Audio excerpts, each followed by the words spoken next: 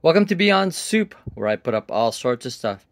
Today we have a Sony MXD D3 CD player and mini disc combination.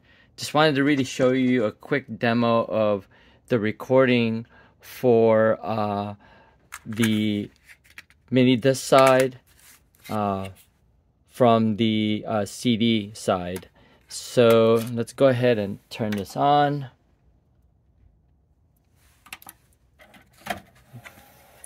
Eject it. Put that in. Alright, it'll read the uh, TOC or table of contents.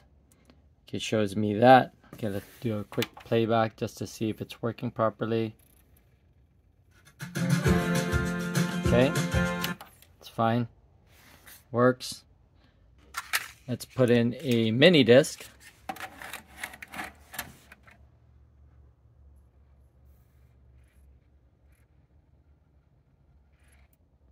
And it's showing that it's a blank disk. Perfect. All we need to do now is literally hit this button here and what it does is shows me CD sync right shows me that uh, the CD is ready to go with this first uh, track uh, to turn on and this one will just continue to flash so that's pretty much it and we're ready to go now let's just hit the uh, play button. And it's starting to record.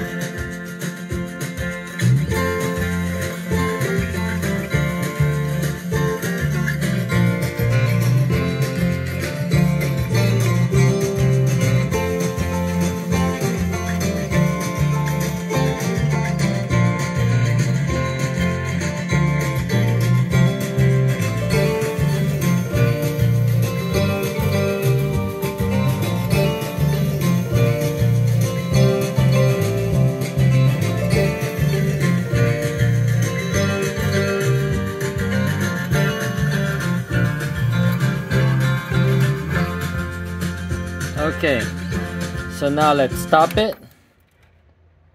And now we've got 47 seconds worth of music. We can go ahead and play it. There it is.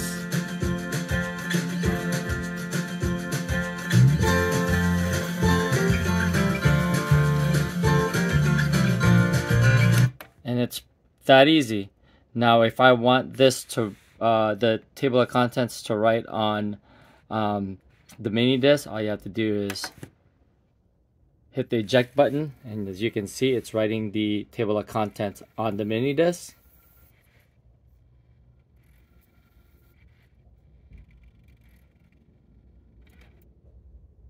There it is, coming out. Now it's written. We'll go ahead and put that in. And um, going to read that TOC and now we'll be able to play it back again.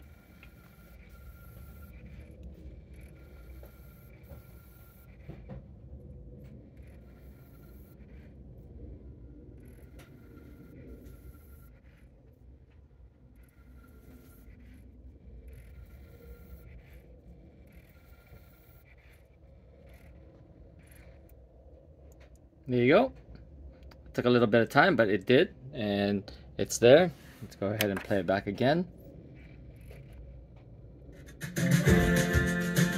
Oh.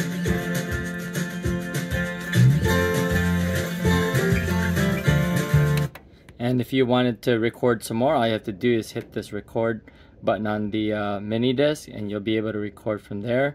And uh, as long as you feed it some some um, content from a, uh, from us from the source, whether it's a CD or anything else. All right, hope that helps. Uh, hope you enjoyed that video. Uh, if you like these kind of videos, hit that subscribe button uh, to Beyond Soup, where I put up all sorts of stuff. Thanks, and I'll see you on the next video.